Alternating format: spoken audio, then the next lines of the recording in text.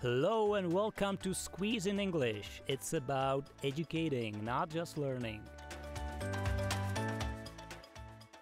Episode 10 Immersion on the Go A Practical Guide. To acquire a new habit, you need to get rid of the bad one first. In this episode, we are gonna apply this rule to the English immersion. We are gonna take a look at everyday activities to see how to practice English in sometimes a surprising way when you decide what to watch on Netflix next time, ask yourself do I really want to watch it in Czech language or whatever is your native language? Or let's do something for my English and let's watch it in original. In other words, am I doing now the best for my future self? For my new identity as we mentioned in previous episode set a strict time and place for your study session. It is scientifically proven that you can remember much more and you will be able to really stick to your new habits when you do that. Also, it helps to avoid all distractions like social media so set an offline place unless you need internet for English studying. But let's discuss immersion, which is more about subconscious learning. Kind of like learning something by the way. Let's start with making your environment optimal for English studying. And this is another part of subconscious immersion. Stick some English quotes or posters all over your place. Keep books in English on your desk so you can read a little when you have even just a few minutes. Remember, new habit must be easy. Have bookmarked an English radio station or podcast instead of Czech ones or again, whatever is your language. Keep it visible and accessible. Another great part of this subconscious language immersion is that you can easily connect it with another enjoyable activity like having an ice cream. Well, of course, if it goes together with your new identity, of course. If you want to lose weight or if you want to be an athlete, that doesn't really go together. Another example, it can be a listening to an audiobook in bath, drinking beer, or drinking beer in the bath. Just whatever fits you. Apart from private English lessons, you can meet an English friend, a fellow student of English, or just any friend, and encourage each other. This healthy competition will help in moments when you start to feel hopeless. So let's jump right in. We have 10 tips to practice simultaneously all the four skills reading, writing, listening, and speaking. Part 1 Reading. Tip number 1 set social media for English language, and you will never feel like procrastinating when scrolling down Facebook anymore because actually you study. Think about how much time you spend there and how simple it is to switch the language. Right after that, do the same with Google. From now on, Google everything in English. Another effortless but useful tip is to bookmark favorite websites and set one as a homepage. So you will never miss it when you open your browser. I recommend, for example, learners' dictionaries like Cambridge, for example, because you can apply that tip from previous episode about learning at least one new word a day right after already existing habit like we talk about breakfast or lunch. Be grateful we have this chance in 21st century and use it. Tip number 2 blogs magazines or books.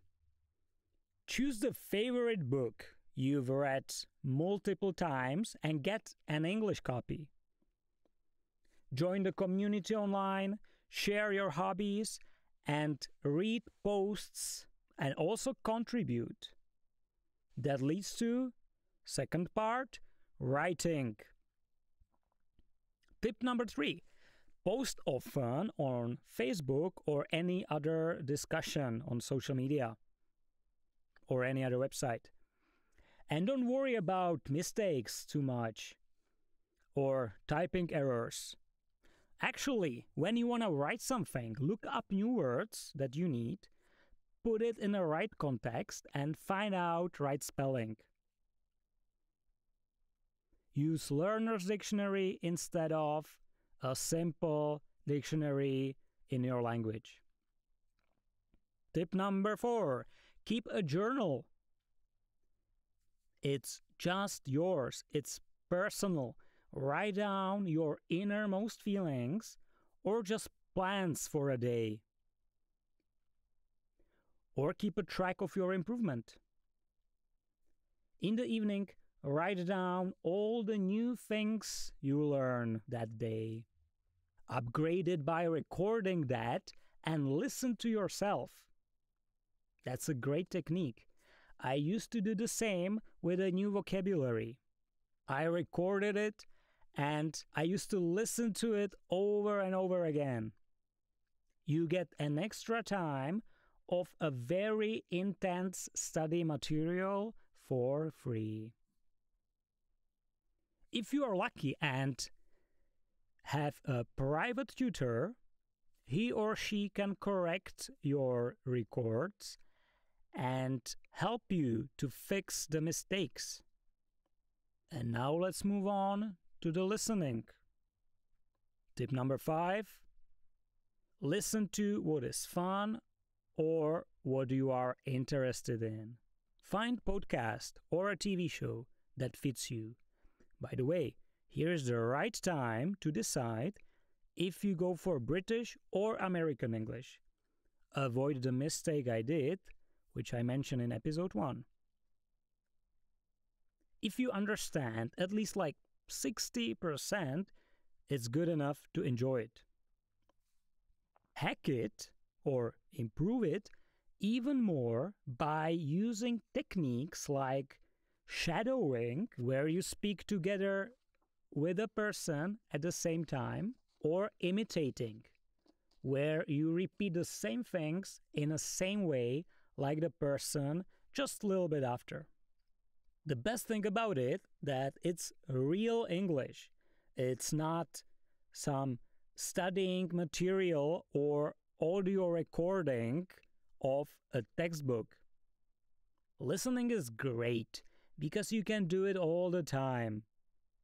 When you go for a walk while listening to something, you can also get a lot of oxygen for your brain when you work out, when you cook, and so on.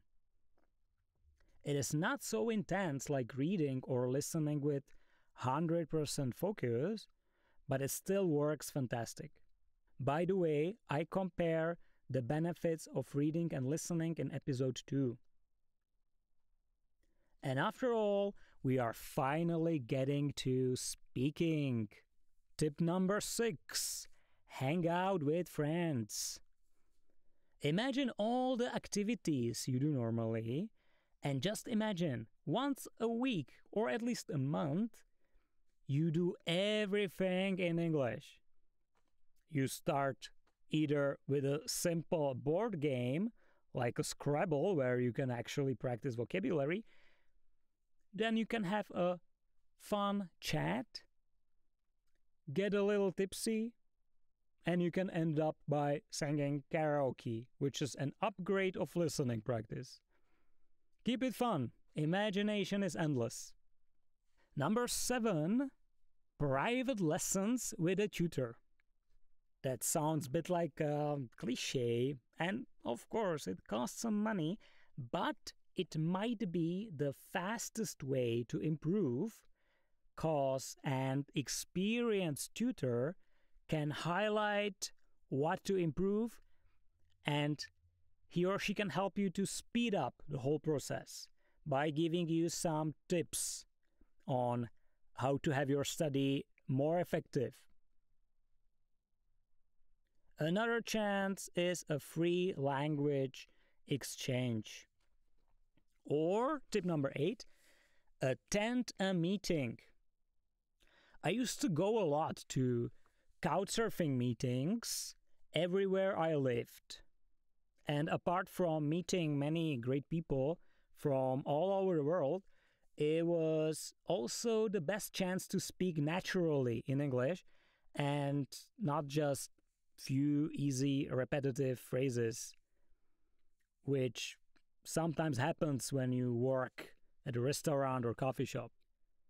If there are no couchsurfing meetings, just check what's going on in your town or city, and there'll be something else for sure. For example, Mormons. They are everywhere.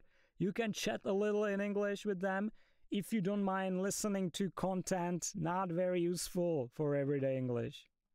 Or the last crazy tip you can pretend you are a foreigner in your city. Ask locals for direction, tips for best restaurants, or just visit an information center where people usually speak English very well and you know just ask for history of the city and something like that. You see there are so many options. Tip number 9 work in a multicultural environment. This is especially good when others are on higher level so you can learn from them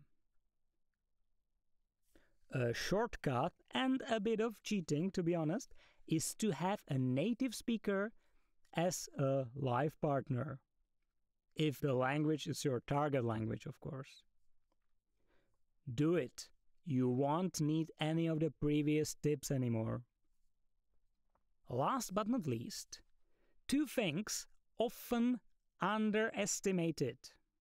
Tip number 10 Thinking and subconscious learning. Our mind is with us all the time. When you walk down the street to buy groceries, think and comment what you see. You can talk loud or you can just talk to yourself in your mind. We think almost all the time, so take advantage of it and think in English every time you realize you think about something. The most impressive, though, is subconscious learning tip, which is this one stickers. Stickers with English vocabulary that you stick to literally everywhere around your place. Once with my student, we even used stickers for potatoes or frozen turkey, and it worked well. Also, because it was fun every time you have fun, you learn more. Because you don't actually think that you are learning or studying something. Let's call it English as you go. Apart from stickers, just notice how many groceries have an English name on cover. Or even the list of ingredients is in English. Next time, when you are curious about how much sugar is in your sugar free yogurt, check it out in English. Did you notice any other tips? How to be in touch with English even without realizing it? Let me know. If you don't use it, you lose it. That's my experience with speaking. Think like a baby who stops using its native language. It would forget. Babies listen and repeat all day, every day, hundreds and hundreds of times, until they can finally speak. Step by step, little by little. They are experts on the rule keep it easy, keep it fun, keep it attractive. To say it super simply, the only way to acquire language is to understand the message of the words. There are almost as many methods as students, and everybody is looking for the best one. Somebody is more visual and prefers reading or seeing a lot of pictures. Others are more audio oriented and so they prefer practice listening. You definitely know what I mean.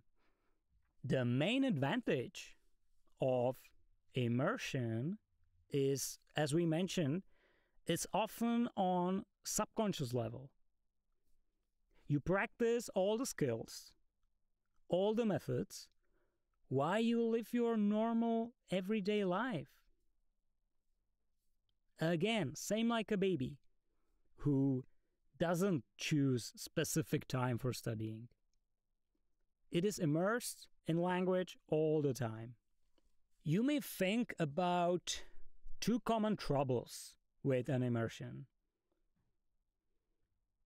Number one, you may think you are a beginner and maybe you would like to ask, what level do I need to start an immersion?